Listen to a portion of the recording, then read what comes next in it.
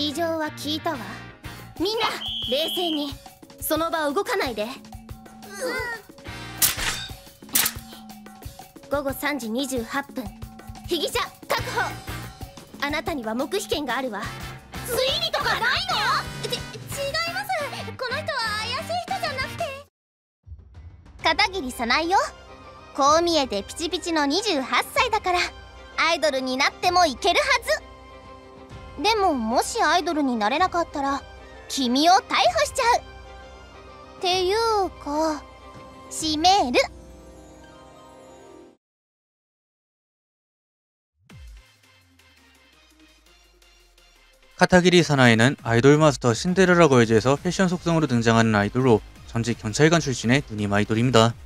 나이는 28세로 신데렐라 걸즈 패션 타입 중 최연장자, 늦은 나이에 활동을 시작한 만큼 젊은 애들의 체력이나 활동을 못 따라가듯 몸이 여기저기 쑤신다고 하는 딸피 반응을 보이기도 하지만 연장자인 것과 다르게 갈빛의 아래로 묶은 twin tail과 키는 152cm에 몸무게는 47kg으로 작은 체형의 소유자, 92, 58, 84라는 무시하지 못하는 몸매를 가진 글래머 스타일의 얼굴의 경우 나이에 비해 앳되며 젊은 친구들에게도 지지 않는 외모를 가지고 있어 합법로리 캐릭터로도 통하고 있습니다.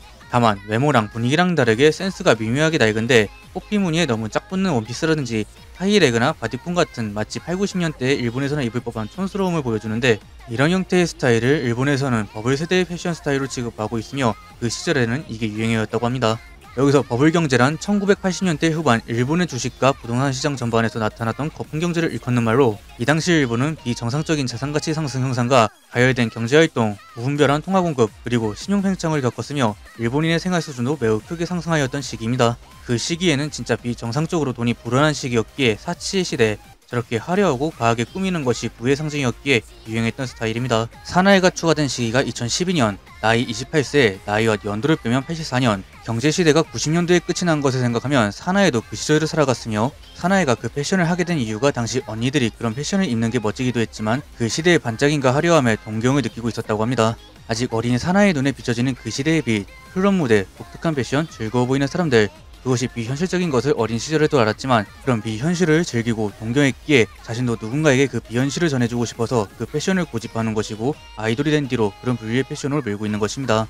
정리하자면 아이마스 시리즈에서 버블 경제를 겪고 보고 몇 없는 세대의 아이돌이라는 점에서 그 시대를 상징하는 캐릭터이기도 하며 그 상징을 모두에게 전해주는 과거와 현재를 이어주는 아이돌이라고 할 수 있습니다.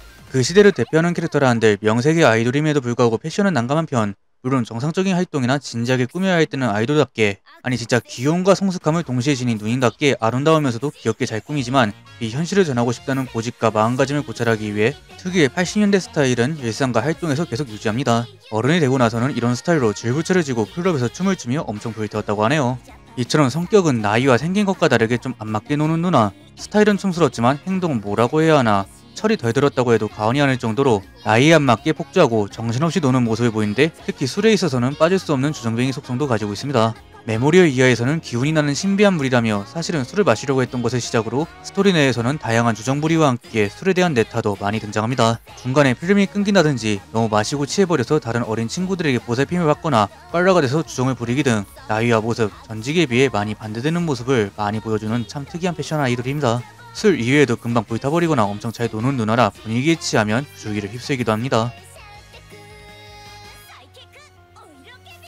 앞에서 말한 것처럼 사나이의 전직은 경찰, 다만 일본의 여경의 신체 조건은 154cm, 45kg 이상이라 경찰을 하기엔 너무 작은 것이 아닌가 싶지만 사나이가 체중의 조건 이상의 작은 키를 커버할 정도의 무술 실력자라 어느 정도 고중과 보장을 가진 인물인데 작은 신체에 비해 전투력은 대단하다는 설정이 있는데 여경답게 가라데, 유도, 합기도 등 온갖 무술의 유단자로 신데렐라 걸즈 내에서 무력 타입에 속하는 인물이기도 합니다. 그게 어느 정도냐면 편의점에서 강도를 제압하거나 술에 취했는데도 불구하고 자신한테 치적되는 깡패를 집어 던지기로 제압하고 중학생 양아치 두 명에 더불어 형님까지 참교육을 시키는 등 다양한 무력 활동으로 악을 제압, 그 외에 무력 혹은 힘이 필요한 상황에서는 가장 먼저 나서기도 합니다.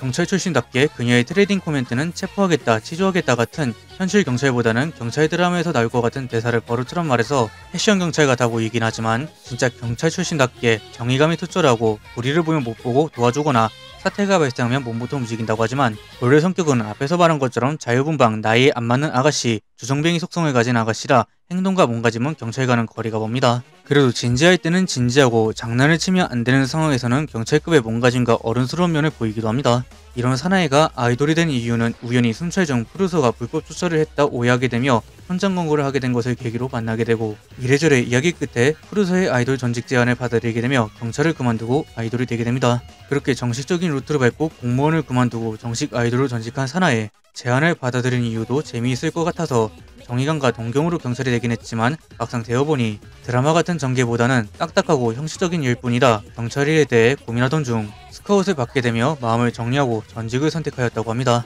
그렇게 된 아이돌이라 사나이는 데뷔하기 전까지는 아이돌이 된 것을 부모님에게 비밀로 하고 있었다고 합니다. 딸이 공무원을 그것도 경찰을 그만두고 아이돌이 된 것만으로도 뭐 억장이 무너질만 하지만 그녀의 과거를 생각하면 더욱 정신이 아찔해질만 하죠. 왜냐면 그녀의 과거는 지금과는 반대되는 날라리였으니까요. 한참 반항아인 시절 노래부터 무력이 강했는데 막 나가다 보니 부모님도 말릴 수 없을 정도로 날라리였지만 그런 사나이를 갱생시키고 나아가 경찰로 만들어주신 은사이자 선배가 있었기에 더 어두운 쪽으로 빠지지 않고 놀곱게 자라며 부모님의 걱정도 덜게 되었다고 합니다. 그런 각오가 있다 보니 걱정을 주기 싫어서 아이돌로 전직하는 것을 계속 비밀로 해두었다고 합니다. 그래도 은사이자 선배는 그런 사나이에게 아이돌이 된다고 했을 때 그 선택을 지지해 주었고 오히려 사나이는 이 세계보다 그쪽 세계에서 활약하는 게 더 어울린다며 적극적으로 응원을 해주었다고 합니다. 덕분에 무사히 전직 후 아이돌을 데뷔하며 계속 좋은 모습을 보였기에 사나이도 모르는 사이 부모님이 알게 되었는데 다행히 딸의 선택을 존중해 주었는지 지금은 아무 말 하지 않고 딸을 응원해 주고 있다고 합니다.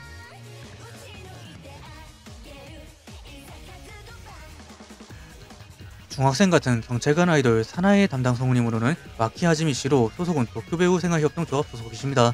성우에 관심을 갖게 된 것은 13살 때 좋아했던 애니메이션에 출연했던 성우의 after recording 영상을 보게 된 것을 계기로 성우라는 꿈을 품게 됩니다. 본래 객실 승무원이 장래희망이었지만 중학생 때까지 나쁘지 않았던 영어 성적이 고교 진학 후 급격히 떨어졌는데 어떻게든 실력을 늘리기 위해 학원도 다니고 홈스테이까지 하며 노력했지만 결국 극복하지 못하였고 승무원 꿈을 접게 되었다고 합니다. 그렇게 또 다른 꿈이었던 성우에 지망하기 위해 도쿄 애니메이션 성우 e스포츠 전문학교에 3기생으로 입소 2014년에 졸업하게 되며 같은 해 하반기 현 소속사인 도쿄배우 생활협동조합 소속 성우로 본격적인 성우 활동을 시작하십니다. 계약 후 1년이 2015년 애니메이션 특제로 사나에의 성우 배정이 결정되었는데 당시 신데렐라 오디션 공지가 사무소에 오게 되고 입소한 지 얼마 안 된 아즈미 씨는 신데렐라 걸즈 오디션에 참가. 본래는 다른 아이돌을 받았다고 하지만 당시 디렉터인 이시하라가 아즈미 씨에게 딱 어울리는 역이 있다며 사나에를 권했고 그렇게 사나에 오디션을 통과하며 아이돌 마스터에 참가하게 됩니다. 그렇게 사나에는 아즈미 씨에게 있어서 첫 오디션이자 regular 역으로 지금까지도 열심히 활동을 하게 해준 역할로 자리 잡게 됩니다. 동시에 같은 해 아니토레 EX의 히구치 에리를 맡으며 첫 애니 regular작을 받게 되고 2016년엔 가르쳐줘 가르코짱에 출연하며 첫 주역 캐스팅을 달성. 특히 가르쳐줘 가르코짱은 초단편 애니메이션이라는 한계에도 불구하고 작가, 연출부도 호평받았고 아즈미 씨 포함 주연 3인방 성우들의 연기에 대한 평가도 후했던 만큼 아즈미 씨는 신데렐라 걸즈를 넘어서 일반 성덕들 사이에서도 주목받는 신인으로 자리 잡게 되는데 그 주목에 큰 한방을 꽂은 역이 17년 4분기작인 블렌드 S 여기서 청순하지만 진성 사디즘이 돋보이는 양면적인 캐릭터인 사쿠라노미야 마이카를 적절한 표현력과 매력적인 음색으로 준수하게 살리는 연기 덕분에 더욱 인지도를 모으고 그렇게 2018년부터는 우마무스메 같은 대박 작품을 비롯하여 다양한 애니의 주연으로 출연하며 대세 성우 중 하나로 맹활약 2020년 1월 29일에는 싱글 음반을 발매하며 가수로서도 활동을 시작하였고 2021년 3월에는 제15회 성우 어워드에서 신인 여우상을 수상까지 하게 됩니다.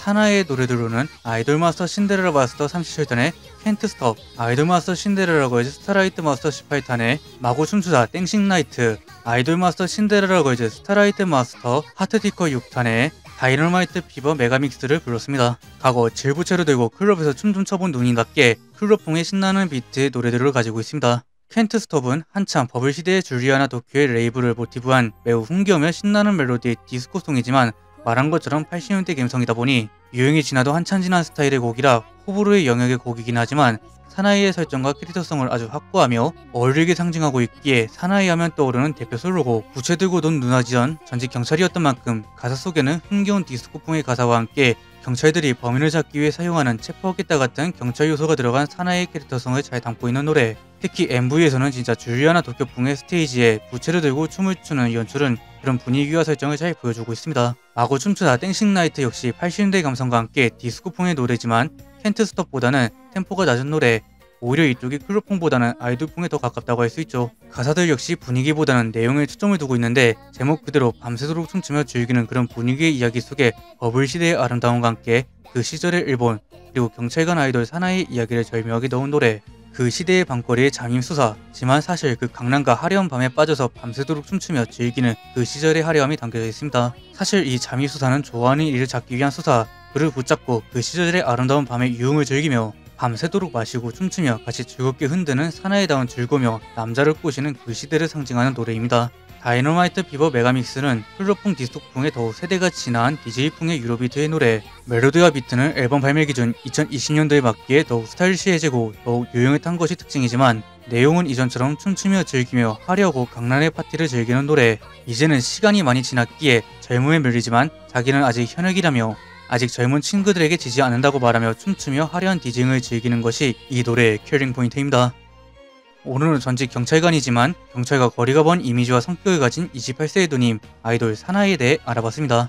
나이에 비해 작으며 귀여운 외모와 몸 하지만 three size는 그것을 무시하는 파괴력을 가진 누님 전직은 경찰관이지만 성격은 경찰과 거리가 먼 밤새도록 놀고 즐기는 80년의 버블 시대의 분위기를 상징하는 아이돌 그렇기에 스타일도 행동도 너무 촌스럽기도 하고 막 나가며 정신이 없기도 하지만 여경 시절은 그런 성격 속에서도 진지하게 정의감 있게 경찰을 했던 성실한 정직 경찰관 아이돌입니다.